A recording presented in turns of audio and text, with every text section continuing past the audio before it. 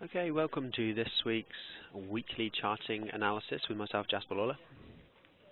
Got the risk warning on the screen here. Just going to cruise through that. Any questions at all, please just send them through the, the chat window or the, the question and answer box. Typical format here is just to um, to, uh, to get through some of the uh, the major, most popular products traded with CMC.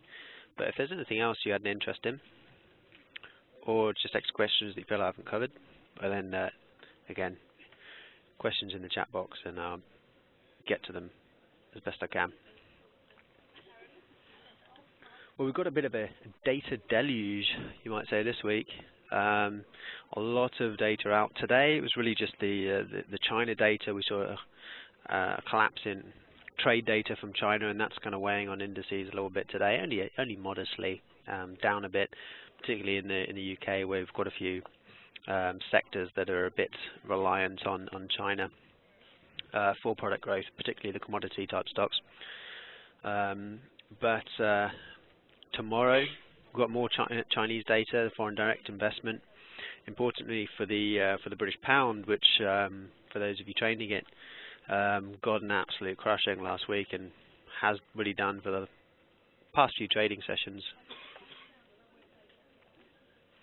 Um, then we've got uh, we've got UK CPI data tomorrow.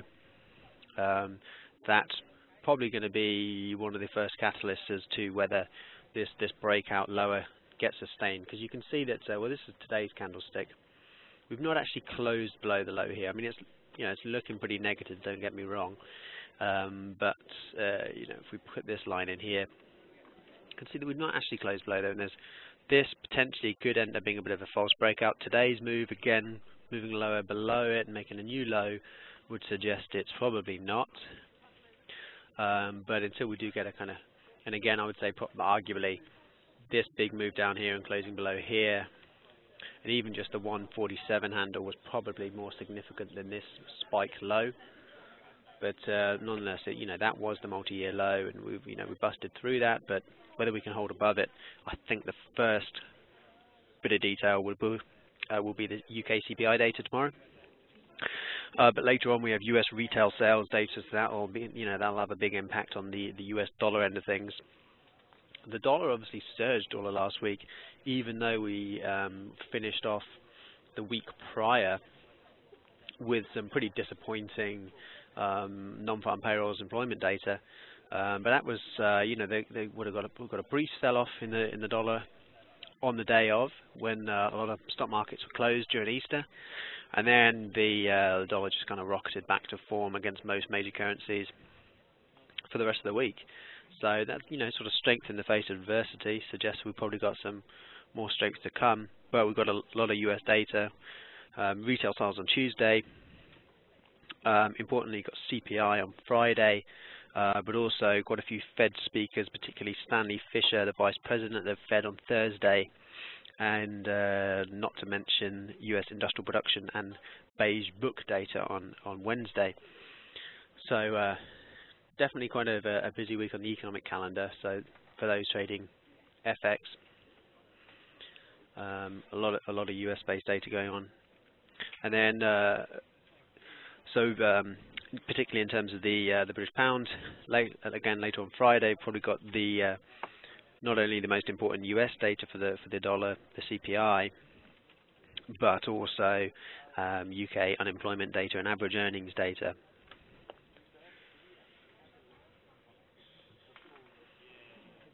Now, the dollar really has been dominating against most. Other. I'm just jumping straight into currencies here because of kind of the nature of the. I mean, Arguably, it's a big week for stocks and for, for currencies, but I'll, I'll, cover the currency aspect of it at the moment, um, just because of all the economic data out. But uh, we do have U.S. earnings for the first quarter really kind of kicking into full gear this week.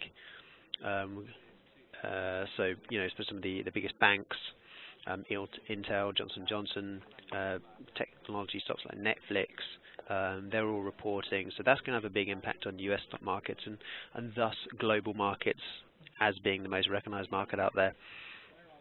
Um, but again, if I just jump to uh, the euro here, you can see that um, similar similar deal. Uh, the euro has not broken that uh, that sort of 105 handle or just beneath thereof um, that uh, would put it down at new multi-year lows um, as the pound has. So actually seeing a bit of kind of relative strength of the euro against the pound, but um, and I, and I think a lot of that is um, is starting to get attributed to the British election, but I think maybe it's a you know that's I'm not sure how how founded that is. And if you look at this euro pound chart here, you can see that's know, that's pretty much a double top that we're looking at right here. I mean, it's a very short-lived trend, but then again, the, the, pattern is quite shallow in itself as well. It's a failure to make a new high, and it's making a, a higher high, and it's making a lower low. So call it what you will. I think it's a um, reversal of this this correction lower. But we'll have to. If we finish today as we are now, you know, it's looking pretty bearish. But um, uh, you know, we do need to close the day down here and have a close, because as you can see from uh, from these kind of days, you know, we can kind of push lower but close up above significant levels. So even though the pound is looking pretty weak against the um, the the dollar, I think it might be coming back into. Uh, they might be showing a bit more strength against the euro again, and, and uh, this, this British pound data, as well as some of the European data that we see, which is not so prominent this week, um, except of course the uh, the ECB on Wednesday. Um, so they're not really expected to change anything. There, there's an outside chance that they would, you know, perhaps even like raise the deposit rate back to zero. Um, but really, what it's going to be mostly about is um, discussing the some of the details in terms of how the, the quantitative easing program is, has been working to date. So one of those where we're not there's not one specific decision that can trigger the volatility in the markets to trade. Um, it's one of those where there's going to be a lot of comments made, and you're kind of going to decipher through that, and uh, it does make it a little bit trickier. But you know, depending on you know really how they want to how they want to kind of uh, play it, if you like, um, Mario Draghi particularly uh, in his press conference, then um, that will determine kind of market direction. I mean, the euro is already at multi-year lows. I mean, it's debatable how far, how much further they want to push it down without raising instability. But um, as, you know, some of the economic data from Europe recently suggests last week perhaps being a bit of an exception where it kind of deteriorated a little bit. But um, on the whole, European data been improving a bit. And I think that is largely down to the, the weaker euro boosting exports out of the, the country. So good chance that the ECB still want to lower euro even further from here, but the risk is that it's um, you know starts distorting other markets.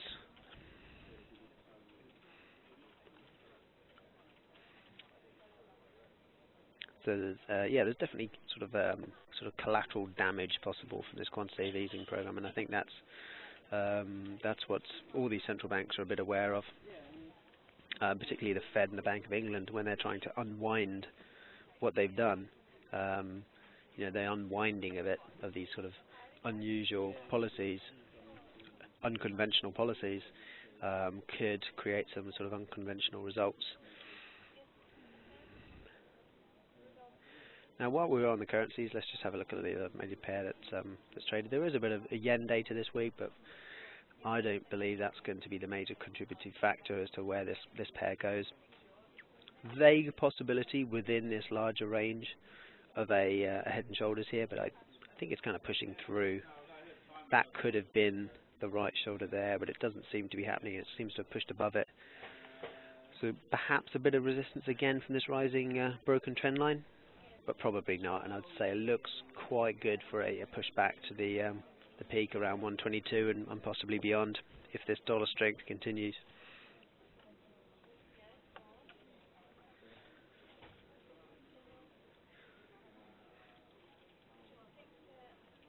Now, uh, perhaps worth looking at UK markets first. Um, again, always worth looking at the, the long-term picture here. you know we've broken this key 6900. We've since broken 7000. So some big levels been broken, and the uh, the bias is is clearly up in the uh, the UK 100. And uh, this this strong candlestick over the last couple of weeks. Firstly, the big reversal, and then secondly, the the strong follow through up to new highs. It uh, paints a fairly bullish picture. Not to say it can't roll over. Um, and actually, the pattern that it's been trading within is a bear, you know, is a bearish pattern. This kind of ri rising wedge, if you do determine it to be that, is um, if it if it breaks below there, you know, we're looking at the the height of that wedge breaking down. That would put us back around the 6,000 mark again, which wouldn't be completely out of character because that is the kind of trading range that we've been dealing with. Again, if we refer back to this chart, for for quite a while. I mean, sentiment's clearly shifted to a more sort of positive tone, but um, a much bigger correction with people uncertain leading into the general election is is uh, entirely possible, and we are running into what potentially could be a source of resistance here. And obviously, I've had this trend line drawn in since these two tops were connected. It bumped into there. We fell into this rising trend line, but weren't able to close below it.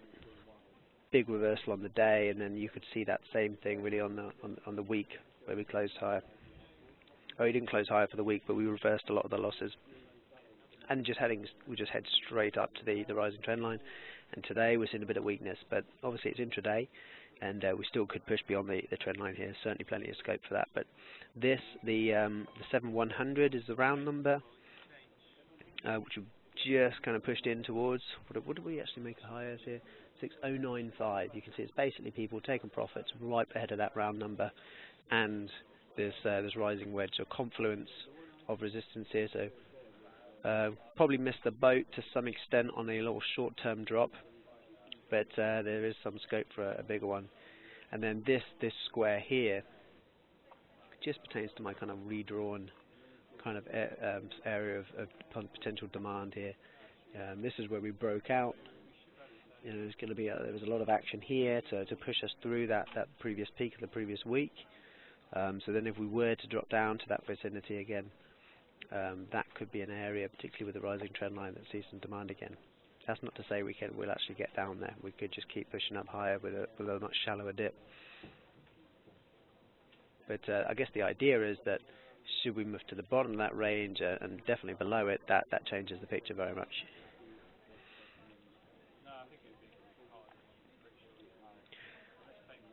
Now, um, probably one of the most um, positive charts you'll see out there is the uh, the Germany 30. Um, so debatable where you want to put this um, extension. Basically, this is using using this as a as a bull flag type pattern, and then the breakout from this original breakout area. Believe is where I projected it from. Did I? Um, I'll just redo it for those who've not not familiar with it. It's just using this Fibonacci extension um, and then just down to perhaps here. You can see where can either go from from this low or from this but really the big one is you get the 61.8 causing a bit of resistance and the 50 in between but there's that 100 so it does depending on where you put it does project us up around that sort of 12 800 area which would obviously still be a lot of big, some big gains to be had from here when we're at 12,400. So keeping that in mind, any dips are worth looking into, but there really isn't any major support, and it's not even major, just vaguely substantial support. That peak there, obviously the former all-time high, and then the um, the 12150 down here, which was this peak from um, from the uh, from the uh, the seventh. We do have a bit of uh, German economic data, um, but uh, again, it's you know the reason for this rally in the Germany 30 is the quantitative easing program. It's not that economic data in Europe is that great. There has been an improvement there, boosted a bit by the QE program because of the, the resulting lower euro. and uh, to some extent the, the fall in oil prices. Uh, but it's you know it's pretty much a QE-driven move. So the key, you know, the key data point here will be uh, alongside kind of international concerns. So perhaps the data from China could be some downside risk to these uh, these indices, but the Germany 30 particularly, it's just it's really about the ECB on Wednesday.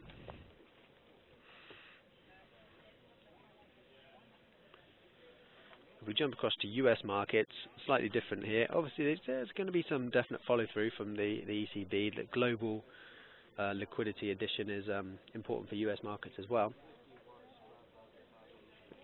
But it's the, um, it's beginning of earnings season. The big thing about this earnings season is that there are expectations for an actual loss in, uh, in income generated across the top 500 companies in the US.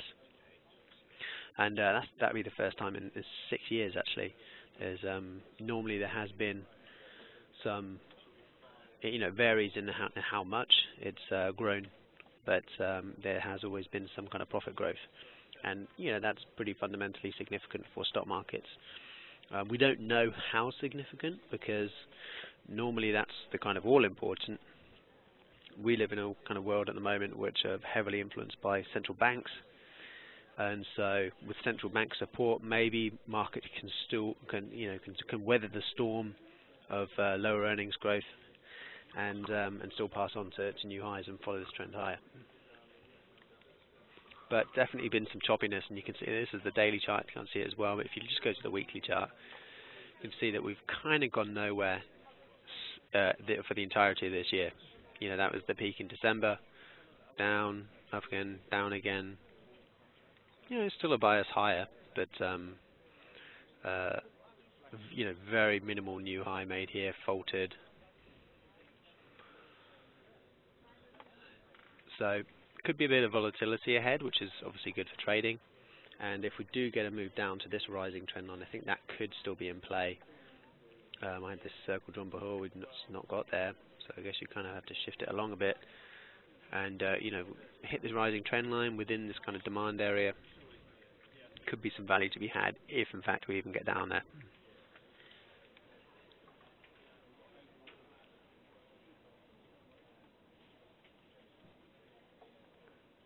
The uh, US 30, pretty similar looking picture. Uh, you know, it seems like the kind of slope connecting these lows and these peaks um, indicates something of significance here. They seem to be about of, of equal value. So I've put in a channel here that's kind of unconfirmed because it's got two, um, just only two on the, the top and bottom, but potentially this area about 18120 or so, which corresponds to some extent with the peaks back in December, could be an area of resistance, um, given the, the big rally that we saw on Monday and then the, the following days last week.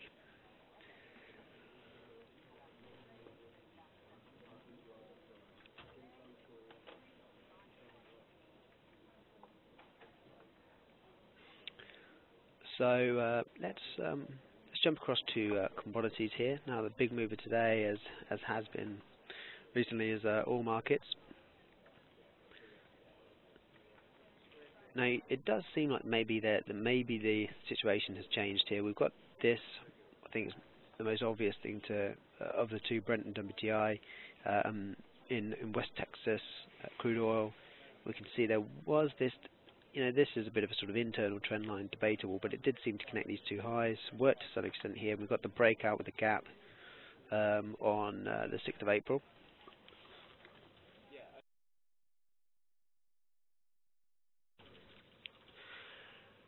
And so now we're basically we've we've, we've pushed higher back up towards these uh, February highs.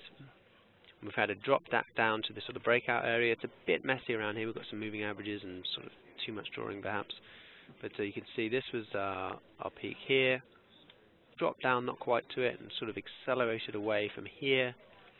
So sort of looking good for at least a move back up towards the, the bottom of this supply area. And given the fact we've bounced off it one, two, three, you could say four times, maybe the fifth time will be the one to push up towards the top. But this is still quite a big area of, of um, resistance here. Now I would imagine there's going to be some sort of selling going into 54 as there has been Um, you know, th this happened more around 53, 54. I think is kind of the bigger one. Um, but if we can close above there, then I think perhaps a bit more of a, a bit of a different paradigm in, in oil. Uh, we of course got the the U.S. inventories data this week, and um, we saw again a massive build up in in oil last week, um, 10 or so million barrels, I believe. Um, so the the oversupply picture is still there, um, and it looks like maybe a, a deal is going to be um, be done in Iran.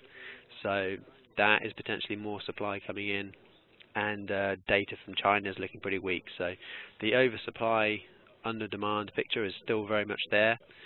Um, yeah, I guess the only real support perhaps is um, slightly improved US data and um, you know the eurozone on the whole seeming to improve a bit and some further potential demand from there. But um, you know it's a pretty weak case, and I think it's perhaps it's just the market's a bit oversold, and we'd really just need a, a much bigger catalyst to, to send it much lower.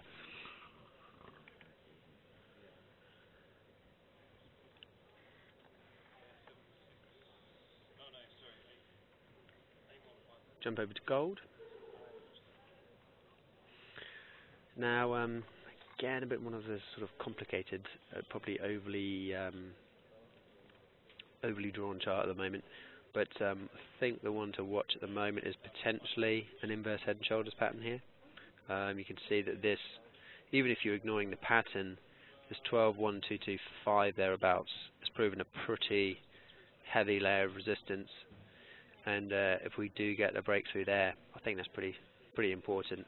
And if we were looking at this as an inverse head and shoulders, the the height of that pattern would put us pretty much right at the uh, the January peak, around 1300, that round number.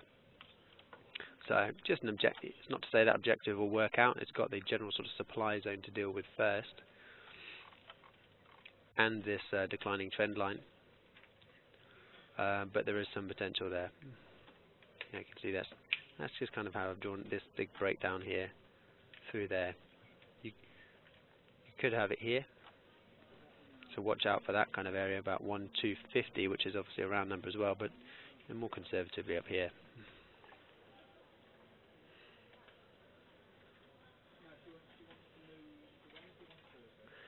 Um, you know, gold. I, I, you know, I think in terms of sort of physical demand in gold, doesn't really warrant the kind of move in, in prices that we've been having. It, I think the physical demand is is definitely there on the behalf of, uh, particularly from central banks, um, is where a lot of the demand is coming from. And physical demand is is is actually down a bit from from China, but probably not massively justifying the kind of moves that we've been seeing. It's really, uh, I think, gold's really pushing around based on the, the US dollar. So is, the similar sort of data that we follow for FX, I think, is relevant for the, the dollar, particularly anything pertaining to the Fed. So uh, for that, um, the, the beige book, or the Fed's beige book on Wednesday, and uh, the Fed speakers on Thursday, I think, could be be the trigger for or not. Uh, the um, rather, you know, the cause of a breakout or a failure, rather, um, in this in this re reversal in gold.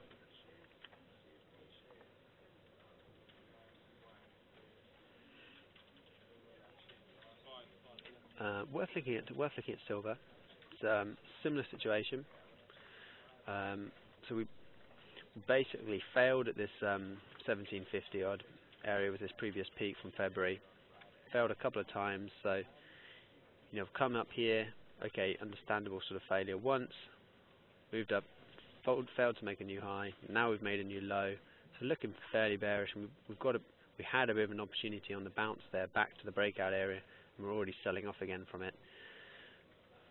There is some scope for um, a move off this area, but I think it's to some extent already happened, so you could probably get rid of that, and now it's just this kind of uh, weekly demand area coming down from the, the bottom here.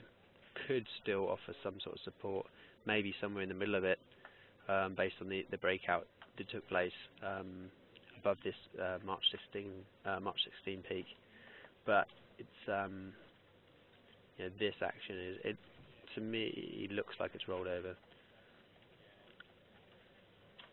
and uh, probably heading down down to the lows again.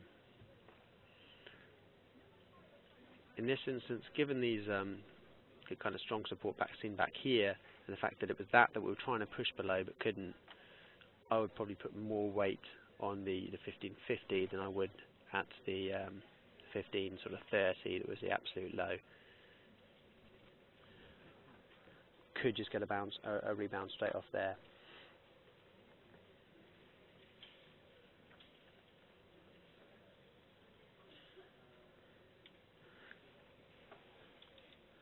So I think that is uh, that's about it. You know, we're um, you know we're looking at a date, uh, a week full of economic data. Um, China is uh, going to be an important one. Um, I think I didn't even mention the fact that on Wednesday it's um, uh, China's GDP, which, um, given the sort of global growth concerns, are still the kind of biggest downside risk to um, to particularly stock markets. So if you trade in some of the indices, um, that will be big on, on um, some of the uh, early on uh, on Wednesday. And obviously later on on Wednesday we have the, the ECB, so that's going to be pretty huge for if you're uh, trading the, the UK 100 and the Germany 30.